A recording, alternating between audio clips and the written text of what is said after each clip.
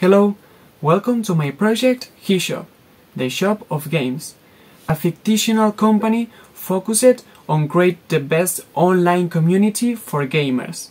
So, who I am? I'm Marc Rofes, a boy from Barcelona.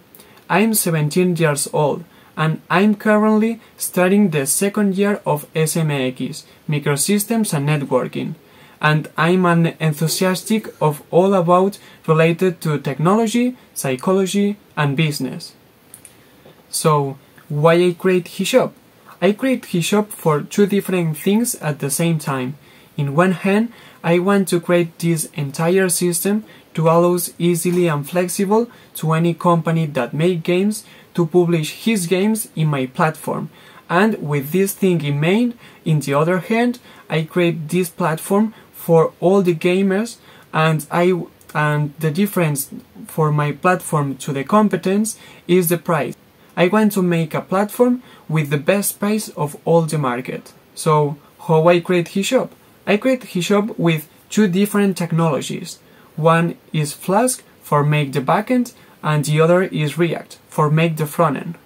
So the main features of the backend are all the CRUD operations of all the models of my database, that my models are games, transactions, users, and more. And thanks to there are many different things, both companies and gamers can allow easily to communicate between them using this system. Also, I authenticate the users that, in other words, is that when a user input his username and password, I validate if it is correct, and if it's correct, I return a token to the frontend. So the frontend can consume this token, and with this token, I can identify the user. And the next point is there are some routes that are protected by his nature because for example if a user make a transaction I need to know if a user have money for example and if a user have money I can make the transaction and if not I cannot make any transactions. What are the main features of the frontend?